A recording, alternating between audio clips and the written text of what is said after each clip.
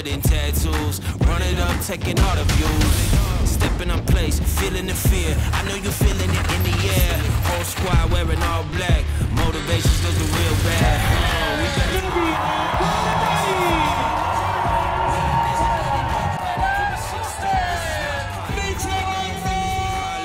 Take a peek inside the darkness. Blow up the spot, then we running. Ready or not, here we coming.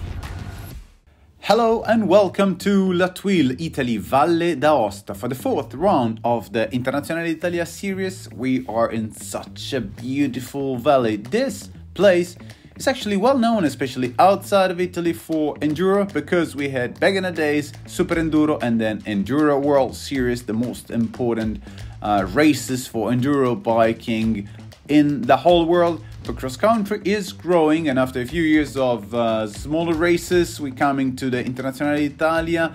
We are at the latest round of the series, so everyone will give their best to come back with the leadership jersey. What a place! What a place! We're close to Mont Blanc. It's pretty uh, natural, but at the same time, we're gonna see soon the parcours, the track, which is unbelievably technical with some. Uh, obstacles, artificial obstacles. So here we see the pump track. So what a race we're gonna see very soon. Let's uh, check first the track and then junior ladies and ladies. Hi, I'm Alan Hatherly. Welcome to La Thuile. Come with me to see the brutal course we have here.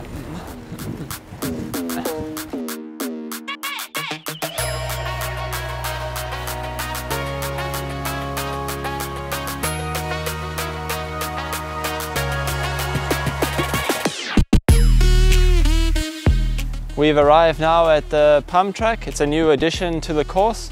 I think it's going to be a really tough part of the course just physically to obviously maintain speed and no recovery. This then leads you into the main climb of the race, so this is going to be a crucial part to try balance recovery and speed.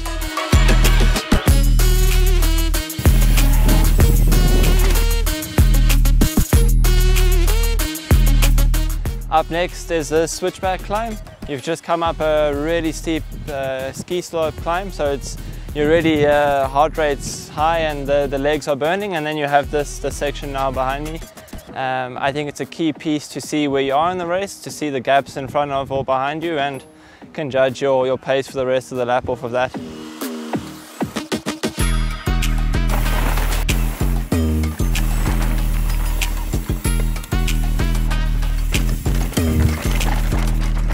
We've now gone up the switchbacks, come across a little transition. Now we're at the, the steepest descent of the course. It's got um, a really steep log section. It's, it's really hard to, to get the balance. I mean, you end up on the back of the bike down there. Um, really key piece to obviously keep the speed, the balance, uh, and that leads you through to the, the transition for the last half of the course.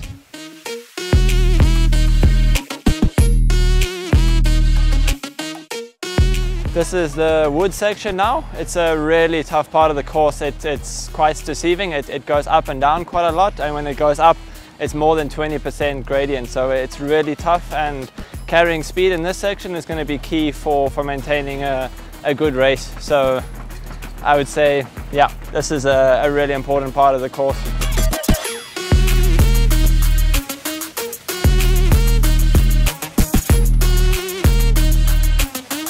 Okay, so we finished now the, the tough and technical wood section. We've arrived at the rock garden, the longest and craziest rock garden I've probably ever seen. Um, it's the, the final key section and it delivers you to the, the finish line. So obviously key key points are just maintaining speed um, on the bike and, and not uh, going too fast. It's quite easy to make a mistake here and you can end your race right here. Um, and obviously it's the decisive point for if you have to sprint for the line in the end.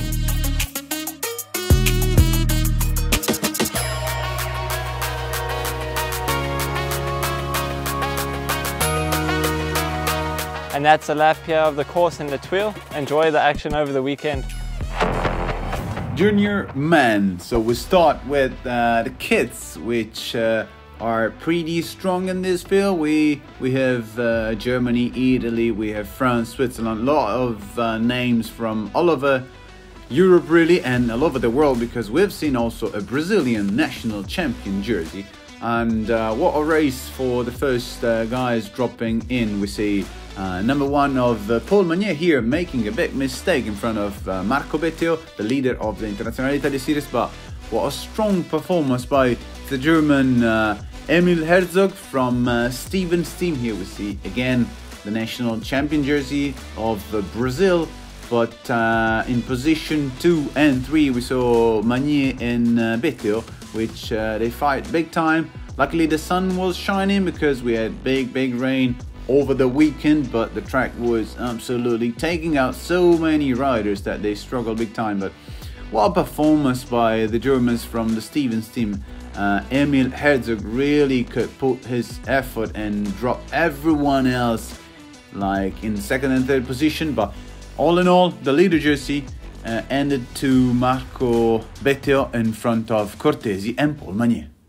Elite women now, La Thuile, final race of the International Italia Series. We see finally some uh, faces smiling like Martina Berta back in the action after her injury and uh, what a start list. Evie Richards, the world champion from Trek Factory Racing, Eva Lechner, Haley Batten, and then Greta Seiwald, Giada Specia, the leader of the International Italia Series, then Giorgia Marchet. And there we go with, uh, with the start. So Martina Berta already leading. I mean, we know Martina uh, knows the place really well. She's from uh, Valle d'Aosta, not far from uh, La Thuile, from the race. What a drop! That's a big drop for the girls and for the boys as well. I mean, look at what they do on cross country racing nowadays, and look at the speed of Haley Batten, uh, where we going back and forth from uh, position one, two, three, four, and five. Here we are at lap one. Haley Batten, what a start of the race in front of Evie Richards, which is we all know is really strong and is coming back to to the big shape for the big races. We're gonna have world champs in Les Gets this year, so she's gonna have to give the best to be back in shape and make it happen again to get that jersey with the rainbow stripes here Haley Batten and Martina Berta. What a performance of uh, Martina that is um, finally back uh, with us, back racing bicycles like we know she's a super, super strong champion. Look at her technical skills. I know how strong she is and she can really drop everyone else down the hill. Now we go lap uh, two of six. The race will be hot and long and it's a trio up in the front because Giada Specia from uh, Wilier Pirelli just joined uh, the club of the leaders on uh, the beginning of lap 3 now is dropping a little dropping back um, Martina looking strong looking fit and strong but Giada Specia we all know she had an amazing and incredible season so far she's having the leader jersey. We come to lap 3 and uh, Martina has a little bit of an advantage on uh, and Haley Batten from uh, Specialized uh, Trinity Racing. We know Chiara Teocchi is a team member of uh, of uh, Specialized Trinity but a little bit back uh, in the pack in this moment and in this race. We hope to see Chiara back stronger the technical aspect of this track is unbelievable. I'm glad the sun is shining. I'm glad the rider are riding and racing in uh, in the sun and in the dry because what a track would have been in the wet. Uh, big cheers to Enrico Martello and all the crew for, for the track, for the organization. It is unbelievable this track. I I have to say. We saw as well Emily Batty from um, the Canyon uh, team. Emily having a little bit of a different approach into cycling and racing in the latest uh, years of her career but always we're always happy to see such a such a champion such a such a big person for for the sport. And uh, I think I've seen Giorgia Marchet as well in the in the group. She's uh, riding strong like all all year long but again number one in the in the back of uh, Giada Specia. She just need to bring it home really and uh, she's gonna win the overall of the series. of the series, which is really, really important for, for her and for the team Wilier Pirelli. Here to factory racing, factory team. I'm sorry, before I, I said uh, Haley Batten racing for Specialized uh, Trinity, but uh, in real in real life she's now Specialized Factory. She was on uh, Specialized Trinity last year, but now she's a factory rider. So sorry for that little mistake. Keep going, such a steep section here. I actually love the track and what a performance by Martina Berta. She killed and smashed everyone else and winning this race at home. She must be really happy. We're so stoked to see her. And Giada Specia finishing in second, not far, a couple of uh, 10 seconds, like about 30 seconds. Big hug with um, teammate of uh, Martina. Look at the podium, Giada Specia in second, and then uh, from Trek Factory Racing, the world champion in third position.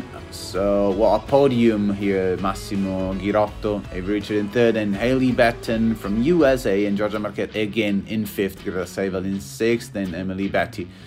Uh, let's hear something from Martina. Ah, dai, sono stati due mesi difficili, eh, lo ammetto, sono stati, sono stati impegnativi. E, oggi, oggi volevo tornare ai cross country a vedere come avrebbe reagito il mio fisico e dai, sono contenta e oggi più, ha un significato particolare questa vittoria e sono, sono veramente contenta, posso guardare penso al resto della stagione a testa alta e prossimi, guardando i prossimi obiettivi. Sì, sì, sono, sono molto contenta. Oggi, oggi, stavo bene, è stata una gara molto molto dura anche considerando gli avversari che c'erano e comunque alla fine, alla fine stavo bene, ho lavorato molto bene in altura lo scorso mese quindi sono in forma e insomma ho raggiunto il mio obiettivo sia tenere la maglia degli internazionali e ho ottenuto anche un buon risultato in questa gara qui. And now, elite man, we're on uh, the big uh, moment that everyone uh, was waiting for. Uh, big names at the start, like Canada Factory Racing uh, from South Africa, Alan Hatherly, really strong in the World Cups uh, over the last weeks and months, but uh, watch out for Luca Braidot, uh, the man from uh, Friuli Venezia Giulia from Santa Cruz FSA team, really strong uh, now in this part of the season. We're happy to see Luca uh, riding really, really fast. So um, glad to see the boy uh, pushing, pushing from from lap one. Look at how fast they're running, they're riding over the last part of the track, the technical section we saw. Also, Juri Zanotti come back from, from injury as well, so happy to see Juri from BMC Racing Team. Here is um, Nadir Colledani racing for Massi team. So Hatherly here with uh, Braidot and Zanotti. What a strong performance by Juri Zanotti, one of the best uh, Italian rider we have at the moment. But Braidot really feeling the vibe, feeling strong. Look at how easy pushing. Number two on his Santa Cruz FSA, strong technically as well in front of number one of Alan Hatherly from uh, Canada Factory Racing and Zanotti. Strong in third, but kind of uh, feeling the speed for for Braidot, which is um, really. Uh, challenging everyone else because he's pushing up the climb, he's pushing down the hill, and uh, just feeling strong. Hatherly in uh, second with uh, with Zanotti at the moment. Hatherly had an amazing season uh, so far, but you know a lot of races, a lot of different places to travel to, so not easy to always keep the speed. Braidot, Hatherly, and Zanotti in the super technical uh, race coming up. Strong in fourth. I saw the national champion jersey of uh, of Nadir Colledani, MMR racing team. We know he, he likes the climb, he likes these uh, tracks, but he's maybe super technical uh, down the hill. He didn't, he wasn't really sure on on tires. We saw from the interview at the at the beginning of the show, but uh, now with dry and dusty conditions, he's he's really pushing strong and, and fast. So lap four on seven because the boys always ride one more lap compared to girls and Zanotti and uh, and Colledani in uh, in podium position at the moment. Hatherly dropping down. We saw we see now uh, Luca Braidot using his dropper seat post. We all know now everyone is riding full suspension bike with a dropper seat post. The cross country bikes uh, at the moment they're really looking sexy and fast down and up the hill. And Colledani is uh, charging big time with uh, Zanotti. Nice to see this slow mo. And Filippo Fontana, we didn't speak much about him, but uh, the young guy from uh, the Carabinieri team is running really strong and holding the leader jersey of the um, under 23 category, but it's uh, the leader of the elite that really is taking the race on his hands and not much they can do the competitors to challenge him. And if we keep running like this we're gonna see him winning the race and the overall in front of his uh, competitor at the moment uh, Colledani is looking fit, is looking strong. He had a good beginning of the season and some up and down for the for the guy as well from uh, Friuli Venezia Giulia. Rider Colledani and Zanotti, probably the best uh, Italian riders we have so far, even though we saw Gioele Bertolini really strong in some of the World Cups, being uh, probably the Italian fastest in some, some days. Here is uh, the twin of uh, Braidot, which is uh, Daniele. But Luca really looking strong and as we can see winning again. Another victory for him in front of Nadir Colledani popping up a willing for the for the fans and Zanotti in third must be must be happy as well. Well finish uh, Celestino picking up uh, names and riders for world champs but let's see what the finish line look like is uh, Braidot, Colledani, Zanotti, Ben Oliver from New Zealand and then Anton Sintsov and Daniele Braidot uh, Janice. So what a race, here we see and we hear something from Luca. Ho lavorato tantissimo in altura queste ultime due settimane, quindi non sapevo bene come poteva essere la gamba. In realtà ho fatto i primi due giri a ruota, dopo ho visto che, che ne avevo e ci ho provato e sono riuscito ad andare via subito. L'anno scorso è stato un anno difficile per me, forse il peggiore della mia carriera. Ho avuto una grandissima delusione alle Olimpiadi e da lì ho cambiato tutto nell'alimentazione, nella preparazione, tutto e i risultati li stanno vedendo e sono felice come sta andando, adesso arriva un bel blocco di Coppa del Mondo e diciamo che la stagione, stagione vera è da qua in poi. Well, well, well, what a year has been for Internazionale Italia Series. I feel is the best so far we ever have. Uh, some of the champions, uh, junior and elite women and elite men, we have after a full season of racing. Giada Specia in the women category in front of Eva Lechner and then Giorgia Marchet, then Martina Berta and Greta Seiwald, the two riders from Santa Cruz FSA, which are winning in the elite men with Luca Braidot in front of Nadir Colledani just for 10 points and then Filippo Fontana Vondetto and Bertolini. We see all the jersey. I'm happy to see uh, the youngsters really doing well and strong like uh, Filippo Fontana and Simone Avondetto I'm pretty sure we're gonna hear something really strong from them uh, from then on so big cheers to everyone thank you for watching and I'll see you in 2023 for another sick season of cross country races from the Internazionale Italia series. Everything is set. È tutto ragazzi. See you next year. Bye bye.